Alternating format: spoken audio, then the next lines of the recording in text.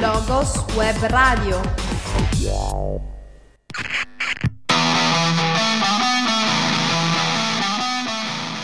Alcuni dei ragazzi del SAP, in collaborazione con Blogos di Casalecchio, hanno realizzato un'intervista con gli Ironic Circus, gruppo musicale giovanile di Ponteronca. Come avete scelto il vostro nome e la vostra band, da quanti componenti è fatta?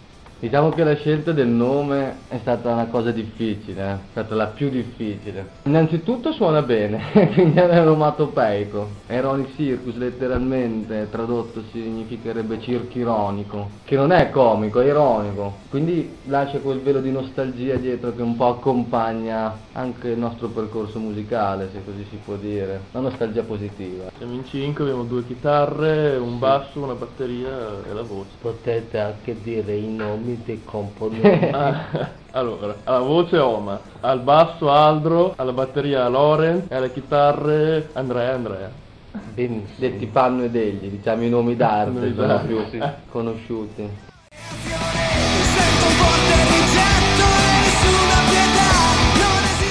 Come è nato il vostro gruppo? Questa è bella domanda. È nato un po' per gioco, come tutte le cose più belle, no? Secondo me. Sì. Perché diciamo, beh, innanzitutto c'è anche una grande passione di base a livello di, di ascolto, di approccio alla musica, di ricerca, di musica sempre diversa da ascoltare. Però è nato per gioco in casa, in una casa in affitto fra me e Panno, il chitarrista, e Aldo, il bassista. Abbiamo iniziato a vedere che potevamo divertirci con la musica, potevamo comunicare con la musica e quindi dopodiché abbiamo conosciuto anche Andrea Degli e Lorenz, il No, batterista. prima Lorenz. Prima Lorenz Prima e poi Lorenz. Andrea. All'inizio, essendoci solamente io, Aldro e Panno, ci mancava ancora la batteria. Dopodiché il figlio dell'idraulico di, di Panno era batterista, l'abbiamo trovato, era molto bravo. E dopodiché lui ha portato dentro la seconda chitarra che è degli e da lì siamo sempre andati avanti noi. Perché la cosa principale che ci lega oltre a fare musica è anche un'amicizia. Lavoriamo molto serenamente, ci supportiamo a vicenda, lavoriamo come una squadra e e ci divertiamo. È nato per divertimento e continua per divertimento, diciamo, e alla base di tutto c'è questa passione smisurata per la musica e la comunicazione.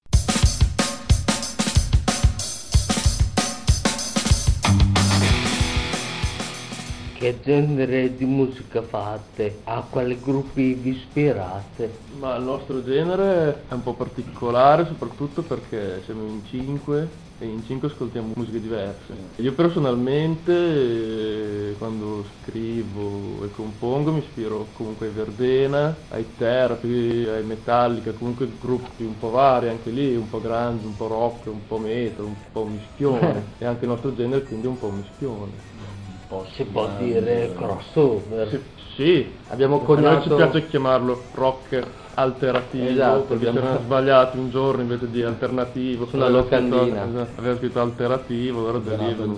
Ed è, ed è però una bella definizione. Abbiamo, tutto cre- abbiamo creato un nuovo genere. Diciamo che infatti come diceva Andrea la cosa più difficile all'inizio perché per esempio il CD che adesso io ti ho dato da ascoltare che ti ho regalato contiene 5 canzoni che adesso ce ne sono 7 finite in realtà due ancora non sono registrate sono il lavoro diciamo di scarto di altre 35 canzoni circa che sono state fatte in questo periodo di tempo in questi anni quindi sì, appunto il fatto che venivamo da generi musicali parecchio diversi all'inizio è stato un po' traumatico. Avevamo delle idee però erano parecchie sconfusionate Esatto. anche. Una volta trovato l'equilibrio, ora sappiamo bene tutti cosa dobbiamo fare e ci piace a tutti naturalmente. Il più è stato trovare qualcosa che, che unisca tutti, perché per esempio c'è chi viene dal metal, io per esempio mi piacciono i grandi cantautori italiani o comunque il rock più classico c'è chi ascolta un altro tipo di rock ancora magari più contemporaneo diciamo. In mezzo a tutto questo purpurì siamo venuti fuori noi però con identità ben precise credo adesso finalmente.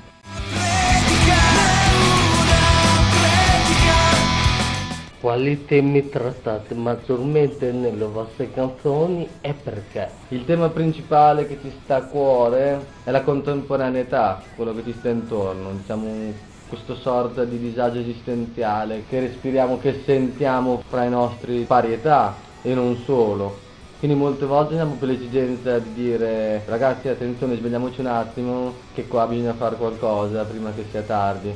Non ha nulla a che fare con la politica il nostro Sì, messaggio, in nessun tipo di modo. È semplicemente un gruppo di ragazzi che guardano qualcosa che non va e cercano di dirlo in musica. Molte altre volte invece i testi sono molto anche personali, introspettivi.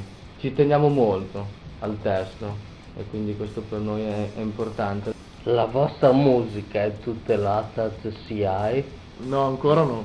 È una cosa Capito. che nel breve medio periodo dovremmo fare, ma ancora... Seppur ancora no. non consideriamo una cosa giusta pagare per la propria libertà di espressione e di comunicazione. Noi la SIAE la paghiamo quando suoniamo nei locali, la paga il locale e questo è un conto. Noi scriviamo delle cover, noi facciamo delle cover che vengono pagate dalla SIAE. Quindi comunque quando noi ci approcciamo a musica dal vivo la SIAE viene pagata.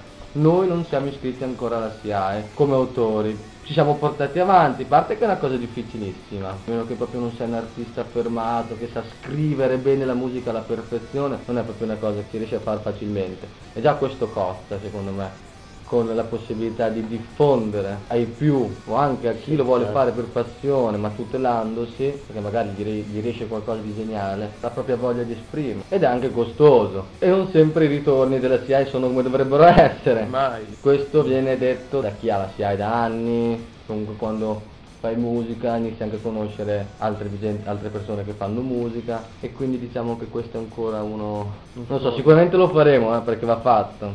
Però non è che siamo molto d'accordo con questo per tutta una, una- una serie di motivi. Tra cui credo che bisogna- si dovrebbe pagare la libertà di pensiero, di comunicare, comunque la musica è principalmente comunicazione, ma in un paese come l'Italia libertà di comunicare di fatto non c'è, quindi uguale per quello che riguarda nell'ambito musica. Vi ringraziamo, abbiamo appena intervistato i ragazzi degli Aronic Circus di Ponte Ronca e spero che questi ragazzi abbiano le carni in regola per fare strada e spero di non avervela tirata. Gra- grazie a voi.